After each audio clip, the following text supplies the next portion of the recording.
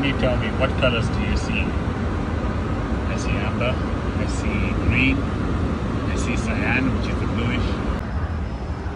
Hi guys, on the ground in Taipei. Now, one of the things I get also asked about a lot is uh, color blindness. People who have uh, difficulty distinguishing certain colors, can they still fly? And what are the issues involved with being colorblind? It's a real issue, and I take no jokes about it because it's affecting people's lives and there's lots of people that want to become pilots and they're worried about their slight color blindness or just their difficulty in distinguishing certain colors. So let's have a look at what sort of colors we have on the flight deck that you could be looking at that might affect your ability to distinguish different colors. So let's have a look. So this is the aeroplane at rest. As you can see there, we've got magenta, we've got green, we've got cyan, we obviously have black there and uh, we have um, the amber like the brake source selector that's amber as well. So on here if I could do the recall you have the standard amber color for EICAS messages. You have green for gear down then you've got cyan which is bluish color is cyan and then you've got the green there on the stab trim or green there. You also have as I said the magenta. Again I'll show you that so there's some colors I just showed you. I'll show you what's on the FMS as well. So on the FMS, EICAS as you can see has mainly white and the cyan color. FMS has that. And we go to the next page, mostly it's magenta and white on the FMS. Over here at the back, you could have those. And then if I do a lights test, up here is an indicator lights test.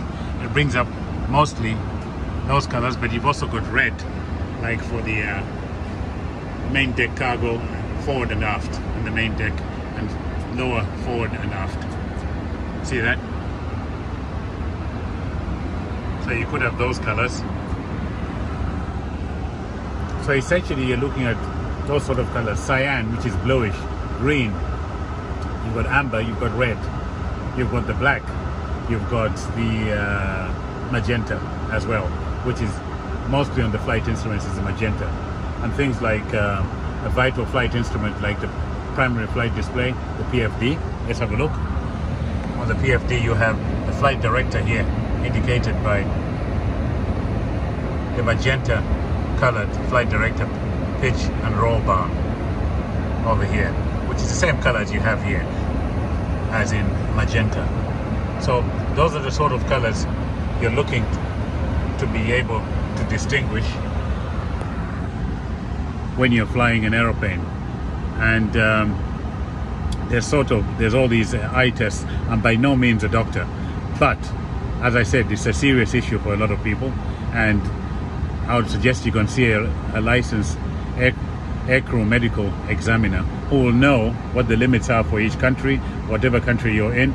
They'll know exactly what you need and they'll give you, they'll be able to give you advice.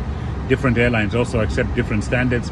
So it, it also depends on the degree of your color blindness uh, to see if it will uh, affect your ability to become a pilot and fly in an airline. But let's say you couldn't and you you you've got severe color blindness.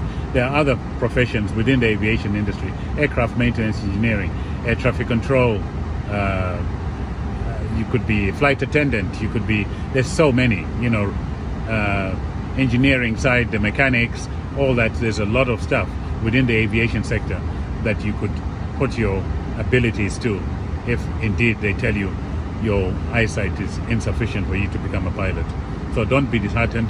Just go for it and see what you can. But see a licensed aircraft medical examiner first, aircrew medical examiners, sorry, and uh, see what they say because each country is different. Later. Good luck.